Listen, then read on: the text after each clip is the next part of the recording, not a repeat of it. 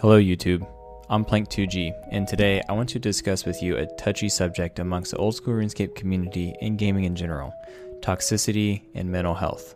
I believe there is a correlation between the two and a lack of knowledge about mental health in general. Today, I'm going to talk about the elephant in the room gaming, behavior, mental health, and I don't mean that in a hallucinating kind of way, but one that probably hits home for something you have probably experienced. This is a complex and touchy topic, so buckle up, Buttercup. Old School RuneScape has a vastly diverse community, from age, geographical location, culture, language, beliefs, and socioeconomic class. This is the game where some first world residents make an absurd amount of money, or how some third world residents struggle to put food on the table and have a place to call home. There are people from every corner of the globe playing Old School RuneScape. Whether it's acknowledged or not, Old School RuneScape has one of the most diverse communities. And amongst its own community, there are sub communities. These sub communities are often called clans, and it's been a part of RuneScape since its inception. It's the easiest and most efficient way to meet people with the same interests as you, whether it's PVM, PKing, skilling, people to hang out with. Those are just a few. In every community, you have people that enjoy helping you, some that stand by and watch, and others that are toxic and inflict pain to others, whether intentional or not. Behavior is shaped by past experiences and also mental health. This is a key statement that I'll come back to later. If you've been in an old school RuneScape clan, you've probably experienced drama stemming from one or two people consistently. This drama can be over a person's RNG, perceived tone to direct messages, ditching someone for someone else, such as having a raiding party and then kicking one person out for another, loading gear for too long, scamming, or even verbal abuse. If you haven't experienced it in a video game, then you may have experienced it in real life. You could be texting someone and they misinterpret your message, or they get unproportionately upset over something that's seemingly innocent and simple. To better understand where this toxicity comes from, we need to understand some basic psychology first. Maslow's hierarchy of needs is an idea that basic needs, safety needs, and psychological needs have to be met before being able to become the best version of you that you can possibly be through self realization. This means that food, water, shelter, sex, safety, relationships, and feelings of accomplishment must be met before a person can reach their peak performance. Behavior changes and problems can arise when one or more of these needs are not met. People react and behave to a stimulus or situation because of genetics, their environment, and past experiences during development. Think of a time when something went horribly wrong and you decided to never do that again or be prepared for that event, such as having a spare tire and knowing how to change it. Some people do not like to be screamed at or scolded because of childhood experiences as well. These experiences have often led to a basic foundational need not being met, whether it's food, water, safety, or good relationships.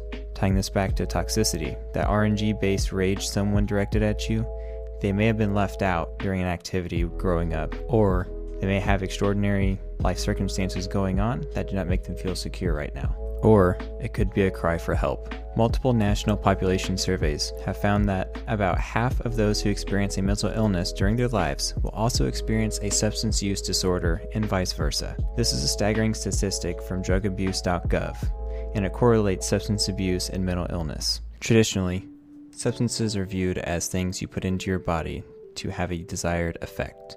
But do you think that video games could be considered a substance? Or at least used in a similar way to self medicate?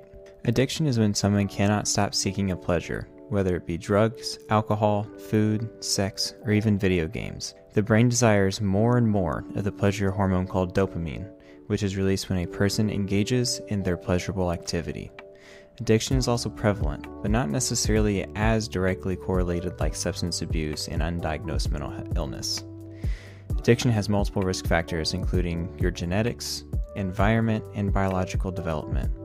So, how does this all tie back to the old school RuneScape community, or even the gaming community as a whole? Video games are a controlled set of goals and accomplishments set by you. There are rarely extenuating circumstances that keep you from accomplishing these goals that mean so much to you. It's an almost guaranteed source of dopamine. It's evident in RuneScape when referring to toxicity. This is most common whenever you impede someone from completing their goal. It could be something from learning a new boss, getting that pet drop, receiving that ever so rare twisted bow, achieving the prestigious 99, or it might even be a simple goal such as hitting base 40 stats. Sometimes there's an unhealthy amount of time spent trying to achieve these goals, to the point where it affects daily lives, like forgetting to eat, not doing laundry, neglecting real life relationships, or affecting your job performance. Sometimes RuneScape is used as an escape from reality, a way to not deal with whatever problems or feelings. Sometimes it's a way to cope without seeing a professional. I believe this is a form of self medicating and displays a generational lack of coping mechanisms. Our generation generally accepts video games as a way to cope. Let's face it, our generation has always had video games as a way to cope, whether it's a bad day at school, a bad day at work whenever we were teenagers, or even now. I feel like most of us were never guided to learning proper coping mechanisms. And unless you seeked it out yourself, most were not going to teach you. RuneScape gives a sense of safety and security. It's something that's easy to control. I haven't even touched on anxiety or depression and its effects. In summary, I believe that toxicity has its roots in a player's past, present, or current insecure situation. This is not an excuse for their toxic behavior, but it may give you a little insight as to why people act the way they do.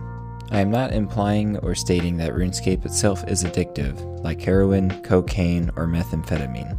I'm just attempting to shed some light on some mental health issues that are prevalent in the gaming community. I want you to think about why you play RuneScape or video games in general.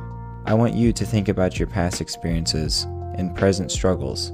Do they affect what or how long you play?